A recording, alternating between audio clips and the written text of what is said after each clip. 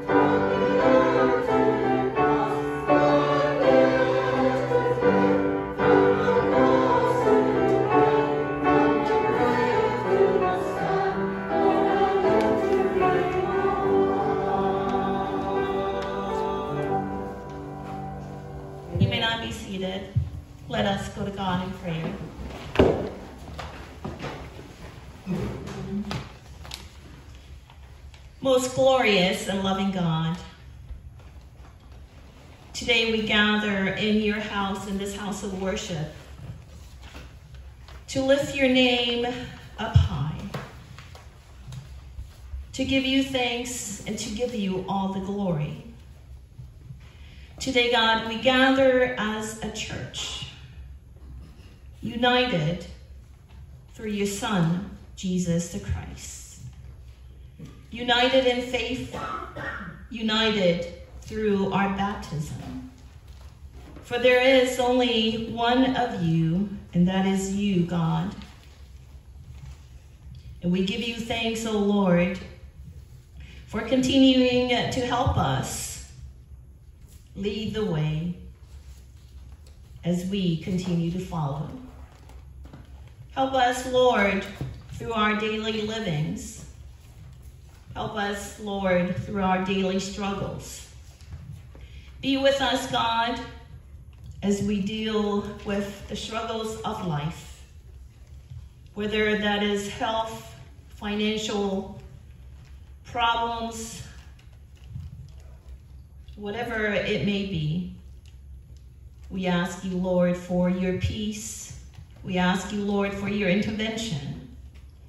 Comfort us in our loneliness. May you walk with us to remind us that we are never alone in this world. And may you continue to give us hope. This morning, uh, oh Lord, we especially lift up to you family members, church members, and friends who are struggling with life. We pray for Jean, who's currently in the hospital. We pray for Sandra's uncle. And we pray, Lord, for the family who just lost a loved one, not only to their human family, but to this body as well.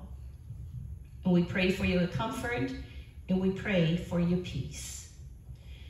We pray, God, especially for our Vacation Bible School, which begins today.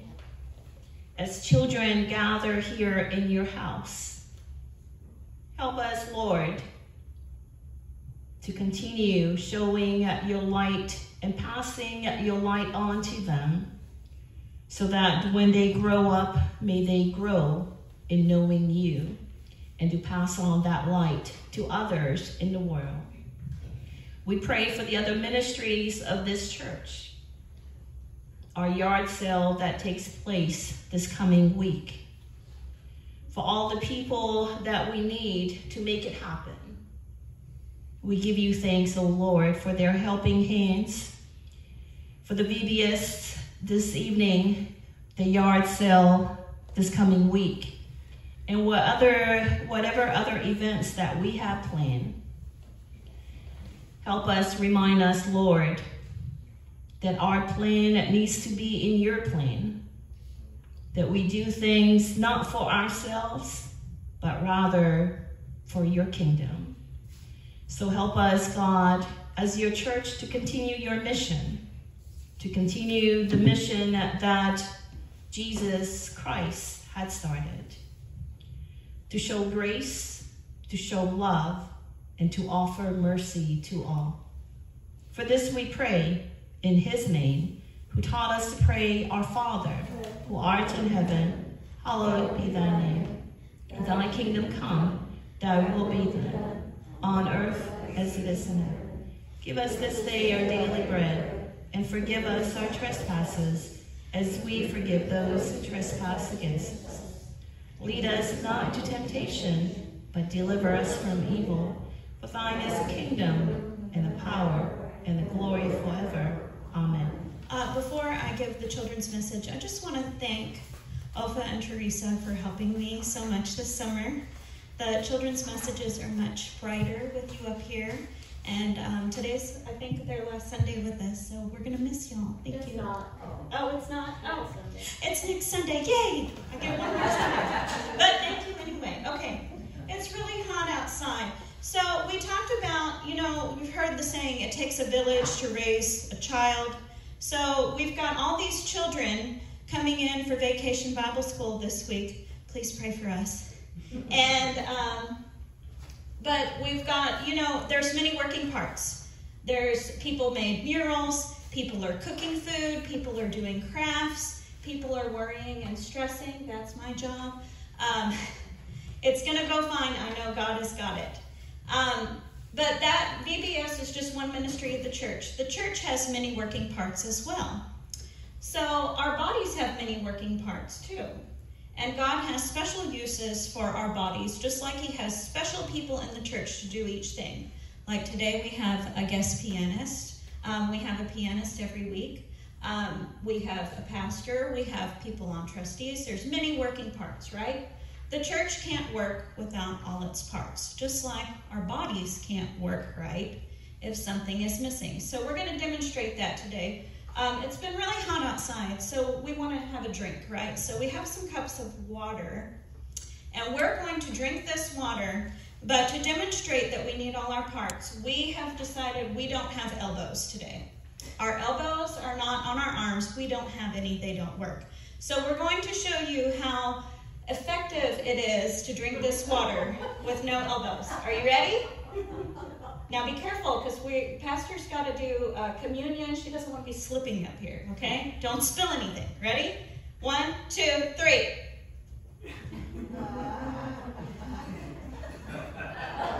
Oh, what happened? It didn't work, right? Good thing we didn't have real water in there. I know we really tricked y'all, right? Good thing we didn't have really water because it would have spilled. So this is a demonstration of how our bodies need all our parts. And just be thankful. Say a prayer to God today and thank Him for giving you an elbow. Because what would you do without it? Just like what would the church do without you? Everybody has a job in the church. And uh, it's all very special and important. Thanks be to God. Please rise for the next hymn.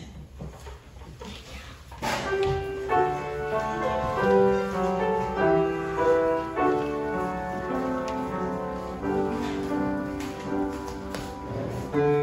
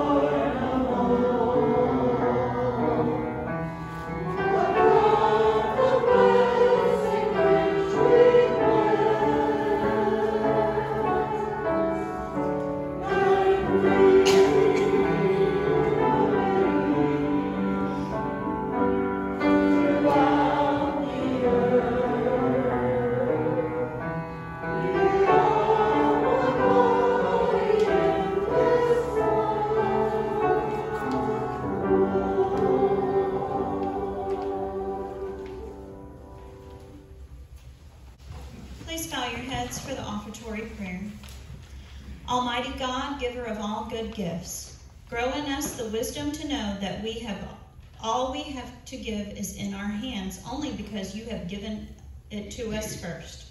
Remind us that you have called us in Christ to be gentle, patient, and loving, and at one with your children everywhere. May the gifts we have been given and the gifts we share reflect the debt of our gratitude for your many blessings. We pray this in the holy name of Jesus, our Lord and Savior. Amen.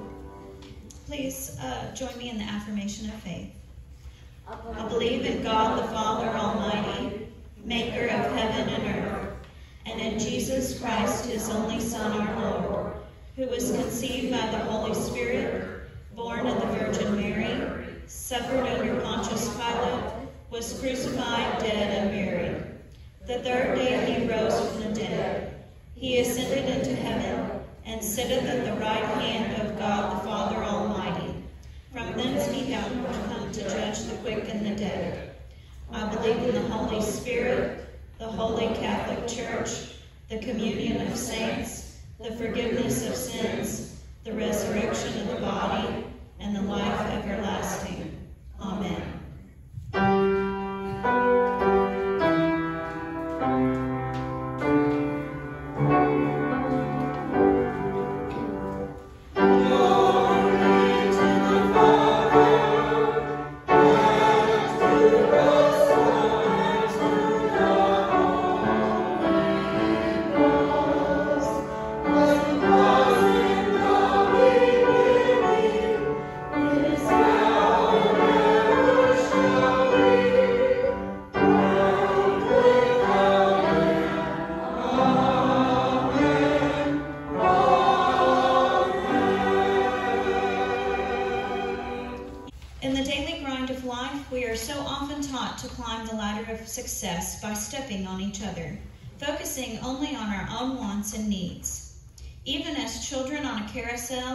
Taught to try to grab the golden ring, and it would fulfill our dreams of glory and wealth. How we have been corrupted to think in these terms. Our dollar for a dream mentality has gotten us into lots of trouble. We chase after all those false idols that cannot ever sustain us and bring us peace. Forgive our stupidity, Lord. Forgive us when we believe that if we only could win the lottery, everything would be okay and we would be happy. It is your Son, Jesus Christ, who leads us in the ways of happiness and peace, sustaining us with his life giving bread. Nurture us again, Lord, with this bread of life, that way we may truly focus on the ministries and mission you have set before us. For we ask this in Jesus' name. Amen. Do you not know? It is Jesus Christ who is the bread of life. Come to him and feed on his love for you. Find healing in his presence. Know that this is given freely for you out of his great love. Amen. The scripture for today is from Ephesians chapter 4, verses 1 through 16. The unity in the body of Christ. I, therefore, the, the prisoner in the Lord, beg you to lead a life worthy of the calling to which you have been called, with all humility and gentleness, with patience, bearing with one another in love, making every effort to maintain the unity of the Spirit in the bond of peace. There is just one body and one Spirit, just as you were called to the one hope of your calling one Lord, one faith, one baptism, one God and the Father of all, who is above all and through all and in all. But each of us was given grace according to the measure of Christ's gift. Therefore, it is said, When he ascended on high, he made captivity itself a captive. He gave gifts to his people. When it says he ascended, what does it mean but that he had also descended into the lower parts of the earth? He who descended is the same one who ascended far above all the heavens, so he that he might fill all things. The gifts he gave were that some would be apostles, some prophets, some evangelists, some pastors and teachers, to equip the saints for the work of ministry, for building up the body of Christ. Until all of us come to the unity of the faith and the knowledge of the Son of God, to maturity, to the measure of the full stature of Christ. We must no longer be children tossed to and fro and blown about by every wind of doctrine, by people's trickery, by their craftiness and deceitful scheming. But speaking the truth in love, we must grow up in every way into him who is the head, into Christ, from whom the whole body joined and knit together by every ligament with which it is equipped, as each part is working properly, promotes the body's growth in building itself up in love. This is the word of God for the people of God. In trying uh, to get in a confidence for us today, uh, we asked several different people, and I didn't share this with you, Sandy, but I think you're the fifth or sixth person down the list from a referral. so a referral that I asked originally asked a colleague, another pastor, and they referred me to somebody else, and they that person referred me to somebody else, and that person referred me to somebody else. But that is how the body of Christ is connected. We're all connected somehow, no matter how far we live and the distance, but we are connected as a body of Christ. Let us pray. Gracious and loving God, we give you thanks for today. We give you thanks, Lord, for this church. We give you thanks, Lord, for every part of your body. We give you thanks, Lord, for your people, for the things that they do daily, the ones that we see and the workers who work behind the scene. We give you thanks, oh God, for enabling us to continue being your church. For this we pray in Jesus' name. Amen. And I also wanted to share about Sandy. She's Presbyterian, so I think she was actually predestined to be here with us this morning.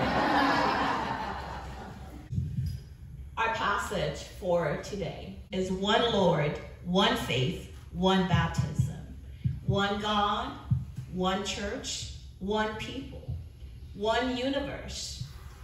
So all these things leads up to a oneness.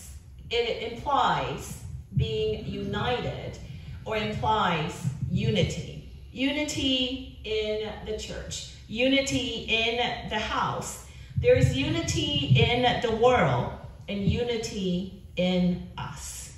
Even though we try to split things up, even though many times we try to divide things up into this little section here, this little corner here, we are all one because we were all created by one creator, and that is God.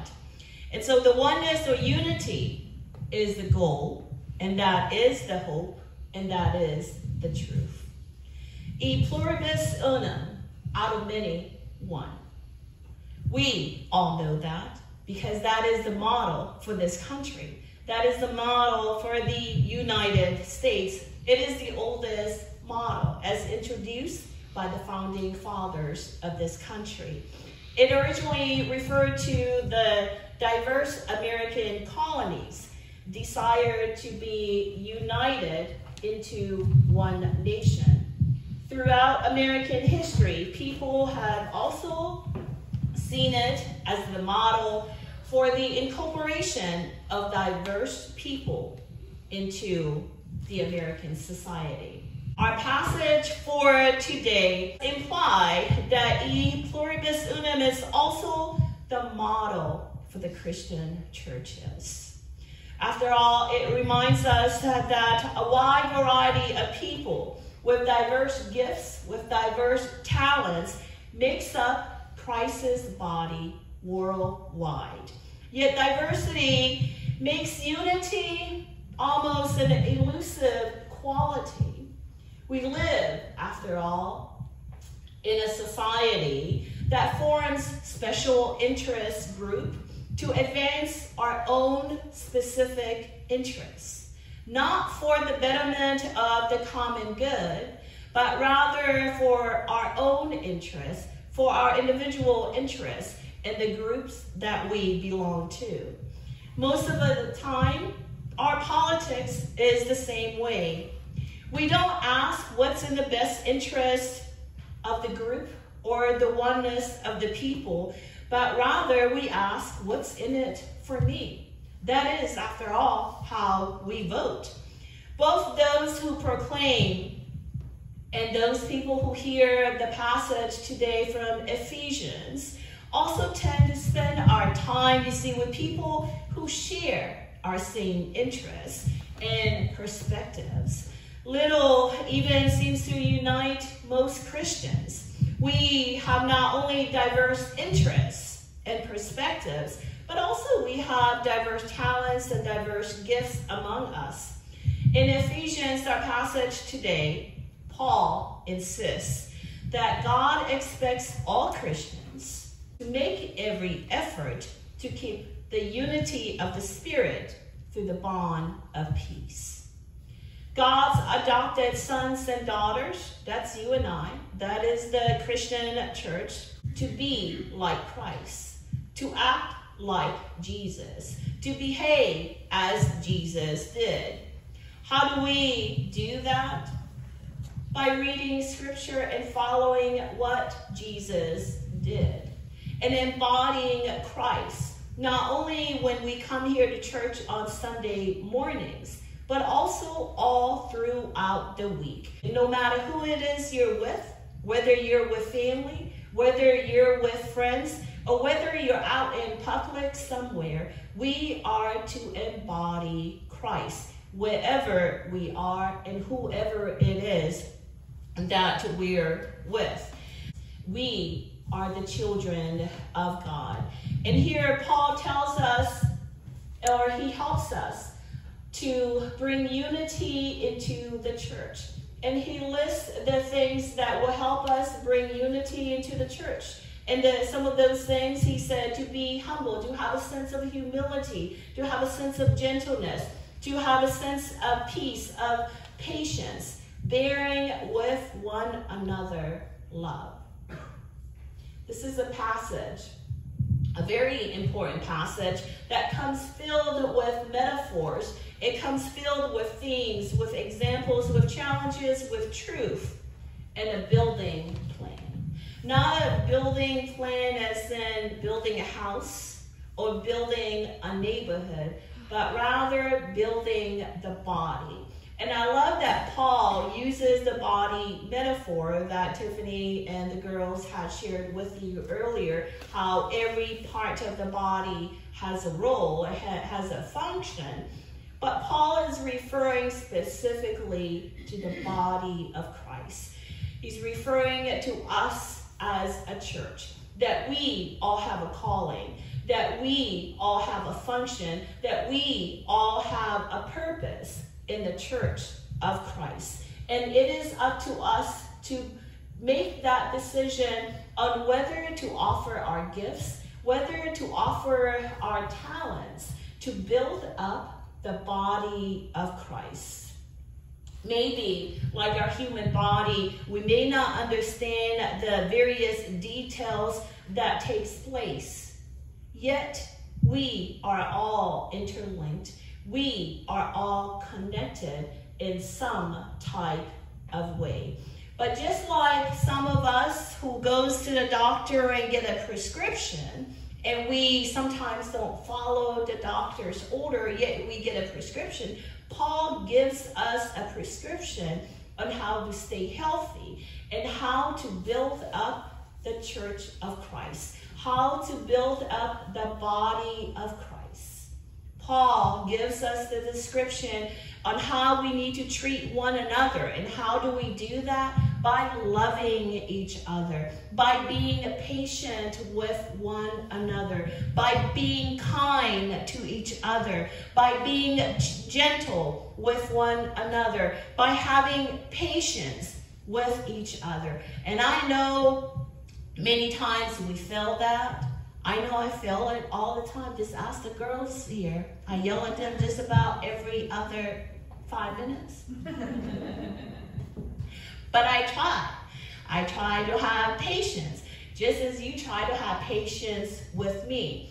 But those are the prescriptions that Paul is giving us, giving to the church on how we need to live with each other and how we need to build up and sustain the body of Christ, on how to sustain the church, and how to be healthy, not to be divided up, not to have our own special interests, but rather what's in the best interest of the whole body, what is in the best interest of the body of Christ.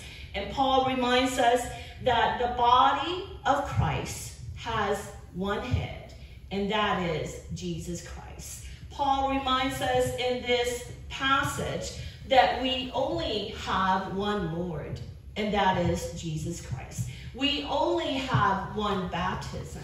If you were baptized, I'm pretty certain that everyone in here has been baptized, and next week we will get to celebrate and remember our baptism.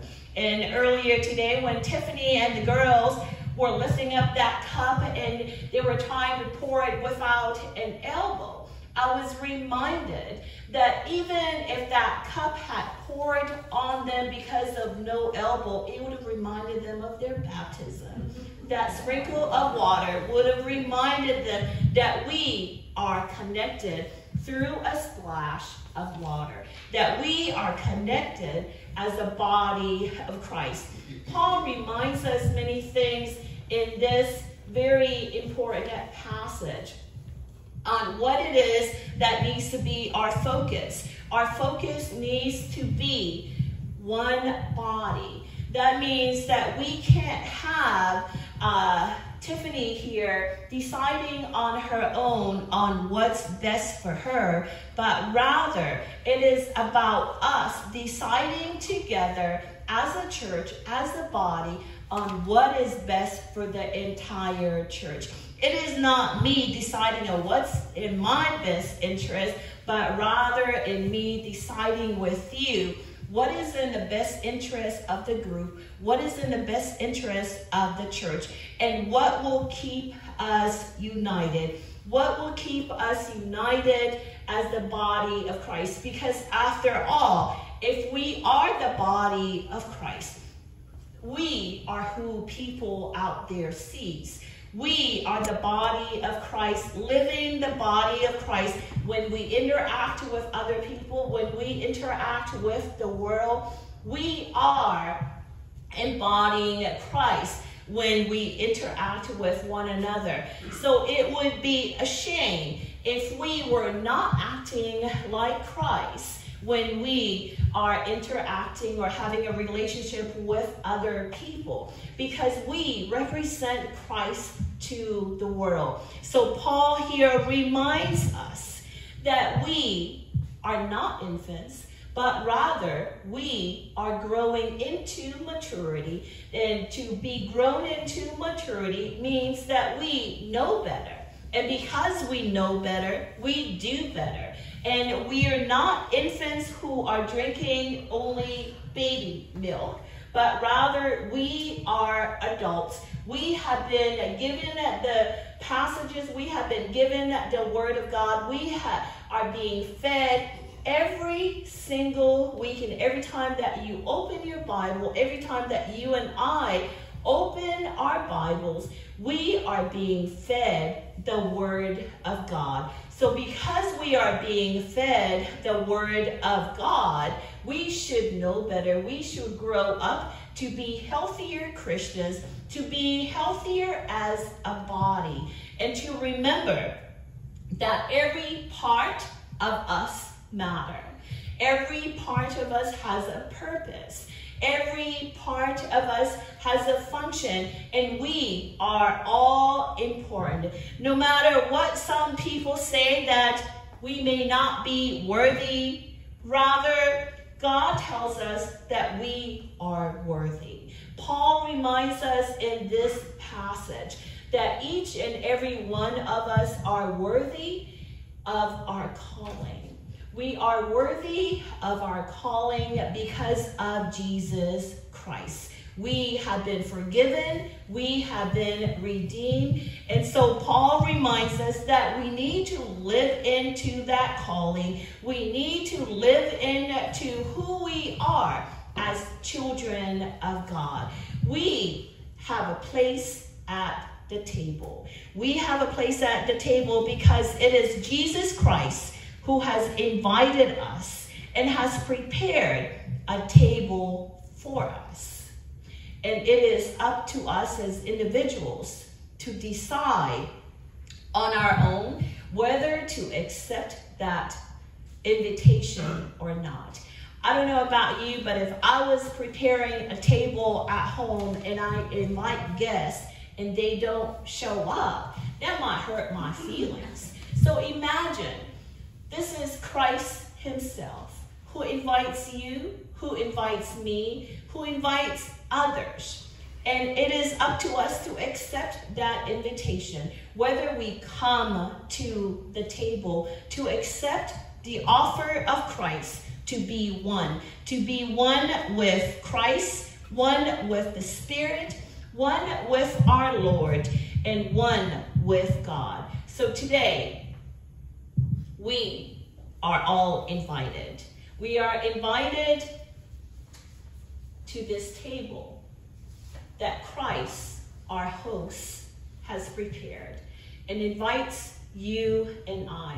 No matter where we've been, no matter how long or how far we walk away from God, there is always always the way to find your way back to God.